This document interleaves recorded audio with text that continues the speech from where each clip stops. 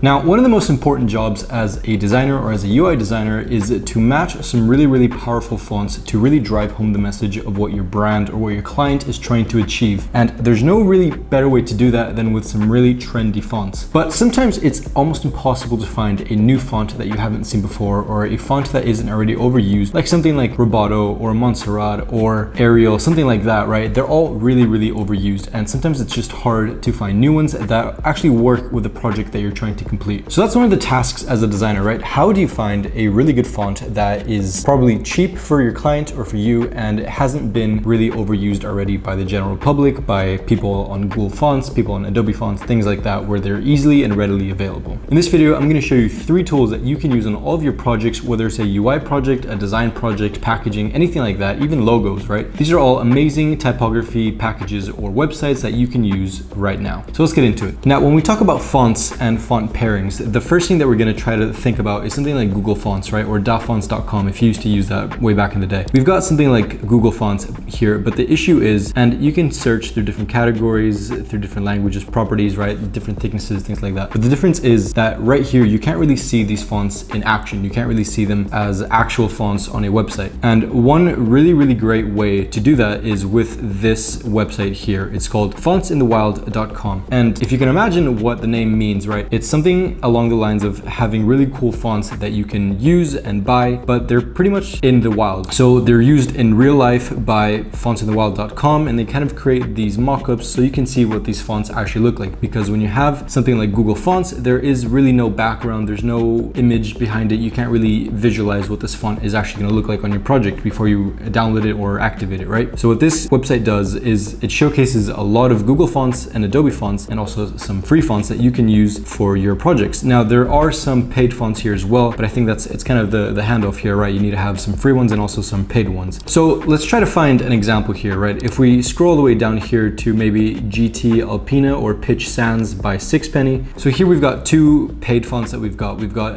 GT Alpina and then Pitch Sans. So I'm guessing this one's GT Alpina and then this one's gonna be Pitch Sans. I don't really know, right? But the point is that you see all these new fonts in context and you see them in the wild and you see how they can be used for your projects and different with different gradients, different colors, things like that. Like this one, for example, it's completely different. And I'm sure that if I saw this in Google Fonts compared to here, I would think that it's a super boring font, right? But then with this example and this, these colors, you see in a different light. And that's the beauty of this, right? Now let's check out the second tool that I'm gonna showcase here. This one's called fontjoy.com. And the beauty of this is that you can find new fonts and new font pairings just by clicking a button. So if you click generate, you're gonna see that the screen or the UI showcases a brand new showcase of fonts. Now, once you found a font that you really like, so say for example, I really like Merriweather, I lock that font, I click generate again, and then it'll generate new fonts based on the pairing that I like. So it'll be based on Merriweather, the, the body text font, right? And so now it creates these new fonts for me, Bitter and Playfair Display SC. And now I can now download these or pay for them or buy them or whatever it is. But now I know that these are some really good fonts that you can pair with, right? Another use case for this is I can go in here and I can search for a different A or a different style that I really like and something that I want to use. So say for example, I think that this A is really, really cool. Then it brings in the entire font and it kind of places it in there for me. So say now that I want to use this font as my main pairing font, then I'll lock that and it'll then generate a new font pairing for me. So we see what that came up with there, right? Now these fonts aren't always amazing and they're not always perfect for maybe your project, but it's just a good thing to keep in mind when you want to get a new fresh set of eyes on your project and on what font you want to use. So you can always just pick out the font that you're already using and try to pair them here. Before we move on to the third tool, I recommend that you guys subscribe to the channel and also like this video so that I know that you enjoy this video.